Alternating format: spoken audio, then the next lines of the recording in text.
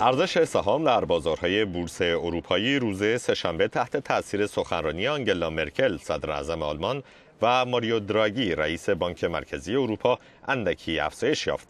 نتیجه آنکه در این بازار ارزش یورو در برابر دلار صعود کرد و هر یورو یک دلار و 29 سنت معامله شد. اما بالا گرفتن تنش‌ها در منطقه خاورمیانه و به ویژه جنگ لفظی ایران و اسرائیل موجب افزایش قیمت نفت شد.